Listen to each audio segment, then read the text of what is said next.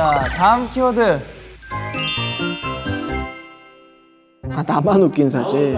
그 정도 아닌데? 그 정도 사진 아닌데? 이게 진짜 나만 웃긴 사진인 거예요. 남들이 봤을 때 이건 스토리를 모르면 안 웃긴 아, 거야. 남들이 봤을 때도 웃기면 안 돼요. 어, 아, 지금 성화 씨 탈락. 성환 씨 달라 웃겨. 이게 웃겨? 네, 웃겨요. 웃겨요, 너무 웃겨요. 아, 선생님들, 잠시만요. 중간에 죄송하지만 그 나만 웃긴 사진 이거 너무 지금 느슨해서 뒤에도 느슨할 것 같아서 제가 중간에 긴장감을 한번 주고 시작하겠습니다. 우영 씨께서 제공해 주셨고요. 말 그대로 나만 웃긴 사진입니다. 예. 감당 가능하냐고. 열어주세요.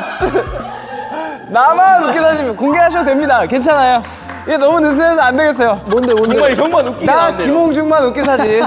자, 와 진짜 애기다. 열어주세요. 와, 너무 강력하게 옛날인데요, 뭐.